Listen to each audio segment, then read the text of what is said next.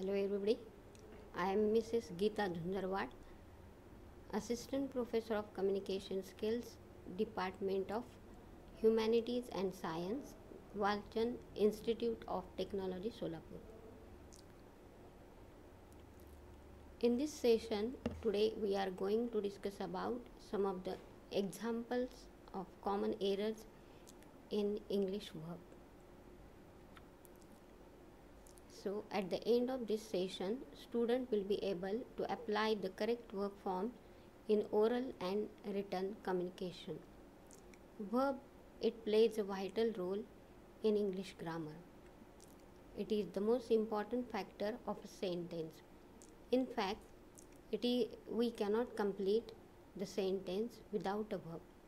That's why selecting the proper verb is very very necessary in English communication.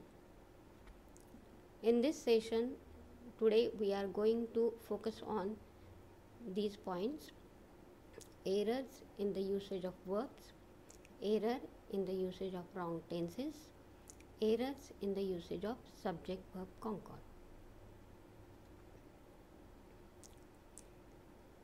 In English grammar, there are some of the verbs which always confuse us. For example, avenge and revenge. See the example I avenge myself for the insult. As a rule, to revenge ourselves is to punish for a wrong done to oneself, while to avenge is to punish on behalf of another. For example, he avenged his son's murder. That's why in the above sentence, the correct verb form should be revenge. I revenge myself for the insult. See the next example drown and sink. The ship was drowned in the ocean. To be drowned is used only of living things and means to go down to the bottom of water. In this sentence, the ship is non living things. That's why we should use sink instead of drown. And in this sentence, it is a passive construction. That's why the ship was sunk in the ocean. We Indians have a habit of using English our mother tongue. That's why some of the misused forms of verb always comes in our communication. See some examples. I put my watch with the church bell. Actually, we are not putting the watch. Instead of that, we are setting or adjusting the watch according to the time. That's why I set my watch by the church bell. See the next example. He opened the knot in the rope. To open this verb we are using for to open the door or to open the window. We are not using the, uh, the verb open for the rope. We are using tie or untie for this sentence. That's why the correct verb form is he untied the knot in the rope. See some another examples.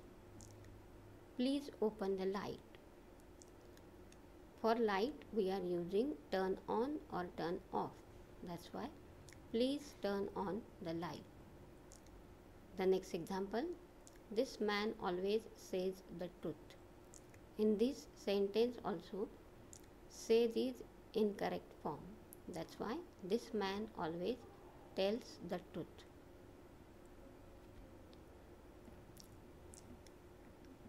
We all of know that there are three tense forms simple present, simple past, and simple future. While using these tenses, we are committing some mistakes. We are using some wrong tenses. See the examples. I have heard the news an hour ago and I have returned from Delhi yesterday. It is a rule when sentences having a word or a phrase denoting past time like yesterday, ago, last year, then, etc.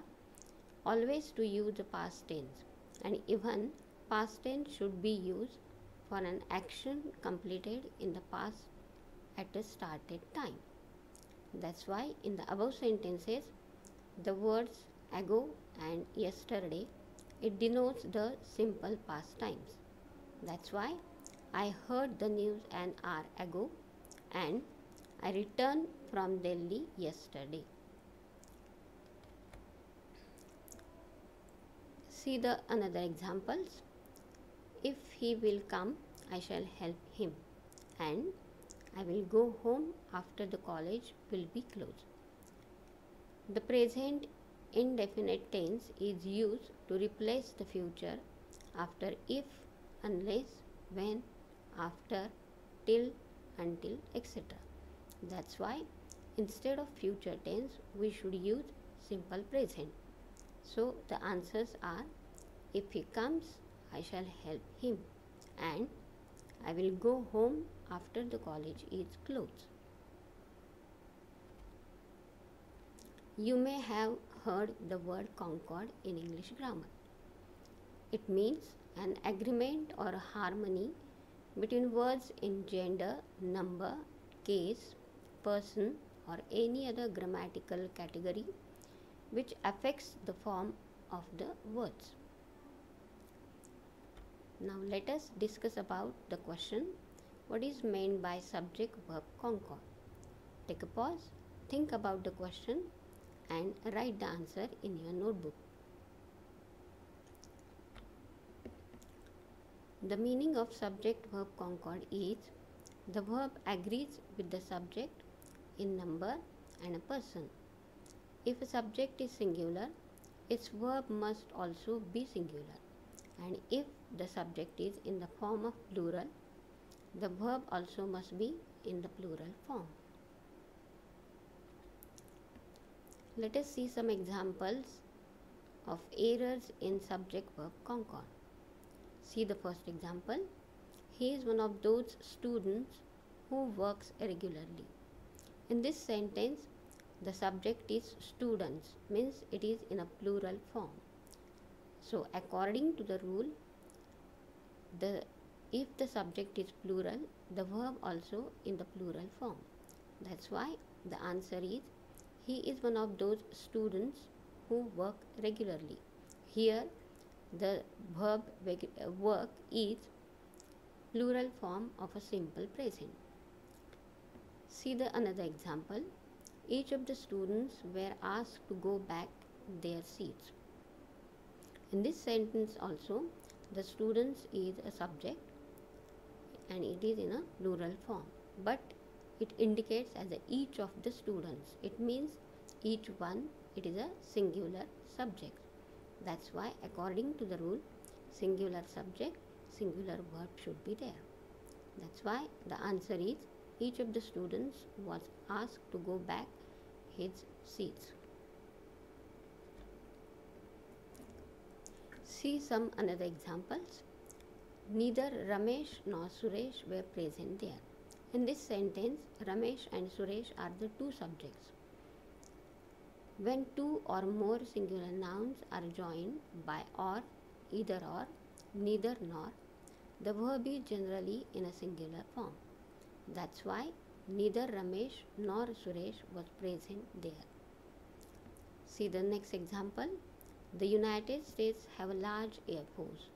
In this sentence, United States, it seems that states is a plural form but united states is a single subject it is a single country. That's why the united states has a large air force.